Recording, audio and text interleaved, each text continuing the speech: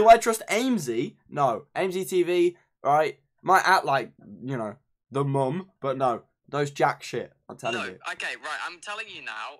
Nobody's ever called Aimsey the mum other than Amy. Yeah, that's true. okay? That's This true. is- that's Because. Amy is realistically the child. yeah, Like, that is true. I mean, size as well, like just everything I'm about it. telling you now.